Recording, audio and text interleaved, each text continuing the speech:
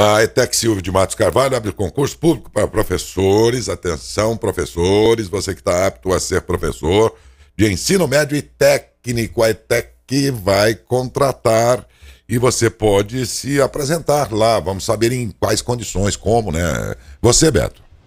É, muito bem, estamos aqui, falamos ao vivo aqui da ETEC em Matão, ETEC Silvio de Matos Carvalho. A, a Cláudia é diretora aqui da ITEC, é sobre isso que a gente vai falar com ela, porque vem aí o processo seletivo e também concurso público para contratação de professores, né, Cláudia? Bom dia. Bom dia, bom dia a todos. Então, estamos aí com uma grande oportunidade de emprego para professores né, na área da educação, é, para ensino médio e técnico. Então, nós temos aqui vários processos abertos, processo seletivo e concurso público.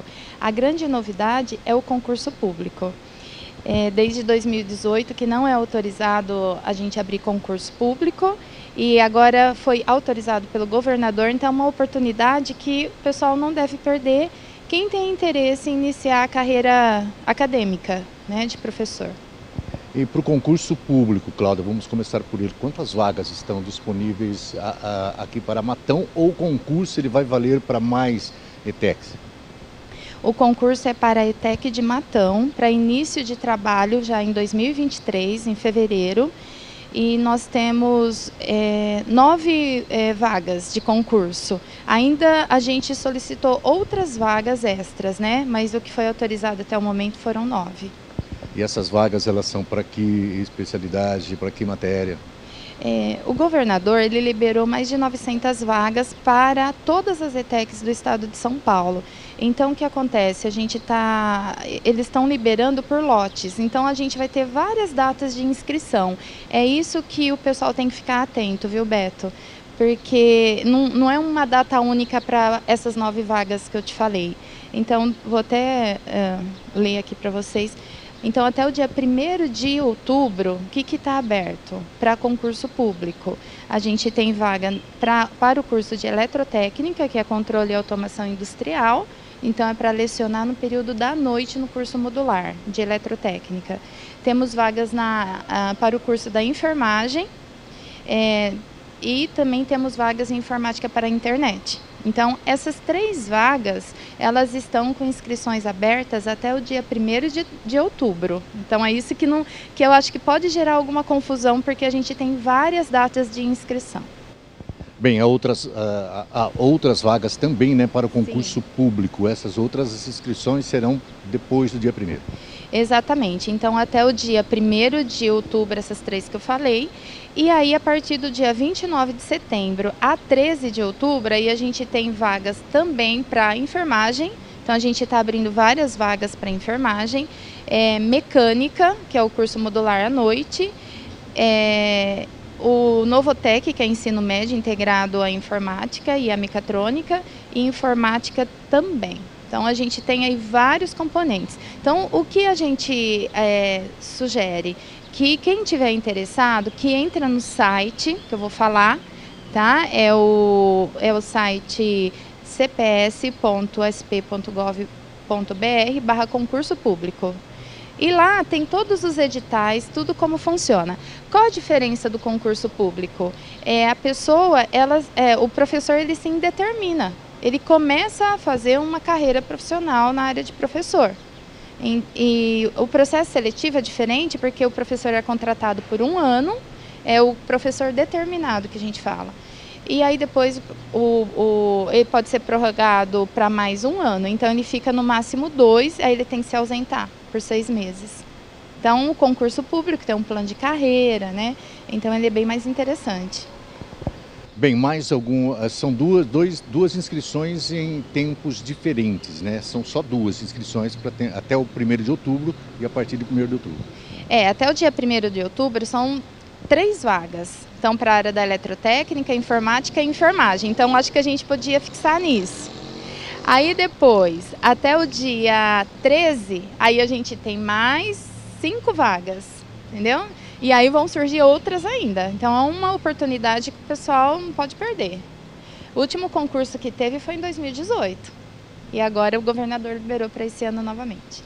Bem, então você aí que, que está apto, né? O concurso público, é claro, daquela efetividade, né? O concurso público é, é, vai ser muito procurado, tenho certeza disso. Mas haverá também, como você disse, processo seletivo.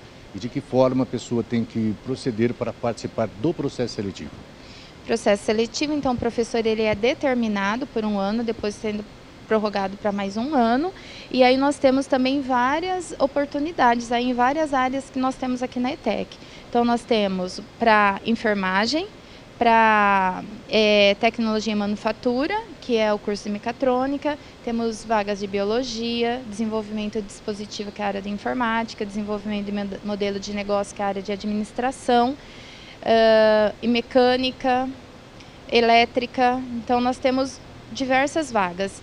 Então vocês podem, se tiver alguma dúvida, nós não estamos, nós não podemos divulgar nada nas redes sociais da, da ETEC por conta do período eleitoral. Mas vocês podem ligar aqui na ETEC e a gente vai passar as informações. Ou ligar ou dar uma passadinha aqui e, e aí a gente passa todas as informações. Tá, então para informações, atenção, vamos repetir o site então em que você pode encontrar as informações para o concurso público e, a, aqui de Matão.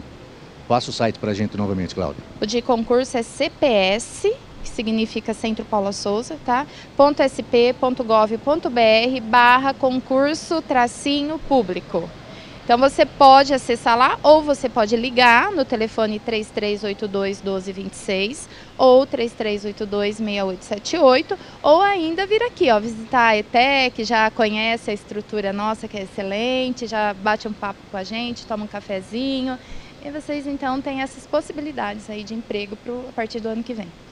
Com certeza, né? Se você está qualificado para isso, vai chegar aqui e falar, essa é a minha próxima escola, né? E, e ponta firme, vamos estudar aí, o concurso não deve ser é, é muito fácil, né? Um concurso público de, é, de uma escola como a ETEC não deve ser muito fácil, então a pessoa tem que ser uma pessoa aplicada, né? E ter a, a meta é, de alcançar, de ser professor da ETEC, o que não é fácil, né? Concurso desde 2018 que não acontece.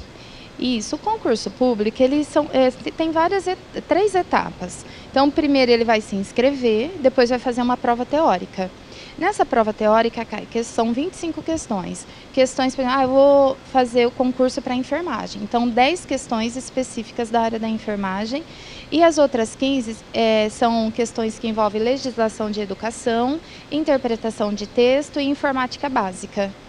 Então, aí essa prova ela é eliminatória. Então você tem que acertar uma porcentagem para você ir para a prova pedagógica e depois a prova de título, onde são analisados os certificados de graduação, pós-graduação, mestrado, doutorado, né? E, e, aí é feita a classificação por essa pontuação. Tá certo, então você pode comparecer aqui a ETEC, fica bem no centro de Matão, todo mundo sabe é, onde fica. É, é uma pergunta que me fizeram até antes da matéria, né? Pessoa só aqui de Matão pode participar ou ele é aberto para quem quiser participar? Para quem quiser, é aberto para todos, né?